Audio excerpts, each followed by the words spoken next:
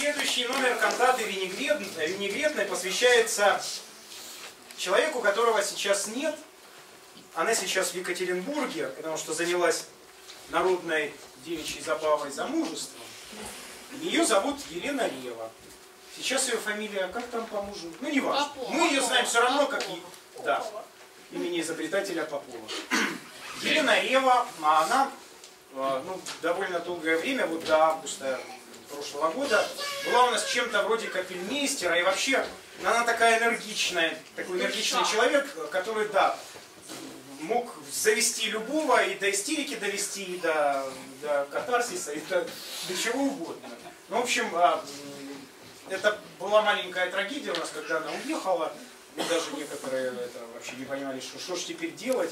Ну, как-то очухались. А, вот. Ты, конечно, Леночка... А, ну мы тебе снимем, отошлем. Ты там можешь... Женихи, они уходят и приходят, а, а вся надежда, вся надежда помнит о тебе всегда. Это я как с мужской стороны, как на духу.